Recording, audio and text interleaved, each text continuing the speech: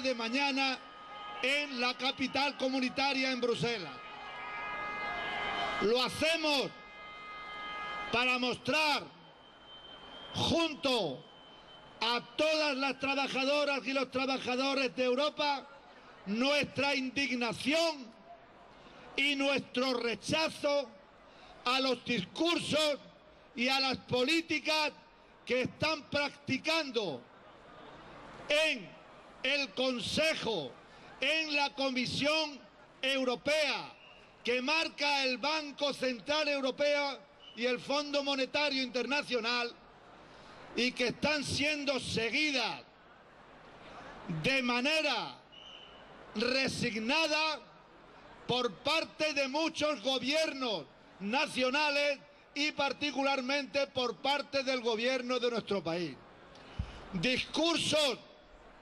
y políticas que están marcados, marcadas por el cinismo y por la indignidad. Y digo que estos discursos y políticas están marcadas por el cinismo y por la indignidad, porque hablar de políticas de austeridad, que es una expresión políticamente correcta, para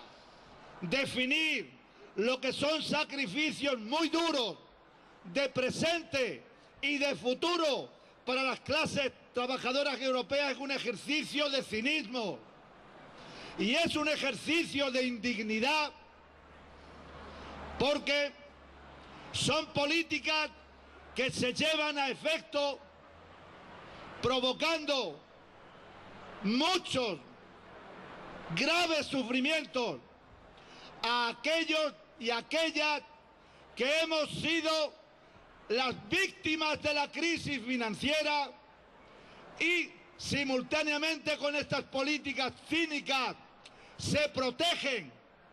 a los que son los responsables y que son los que debían de pagar los sacrificios de la crisis. Los tratados de la Unión para hacer otra política,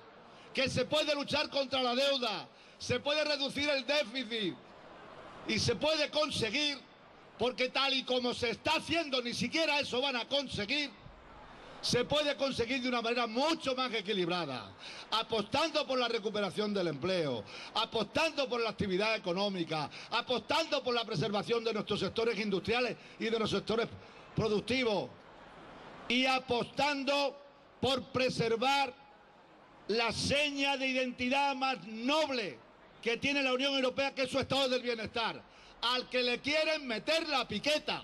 y se van a encontrar con el movimiento sindical.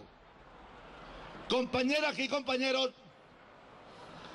para concluir, algunas palabras más en relación con la situación en nuestro país. Y hablar por razones de actualidad de un tema muy concreto. En este momento está reunida la Comisión Parlamentaria del Pacto de Toledo.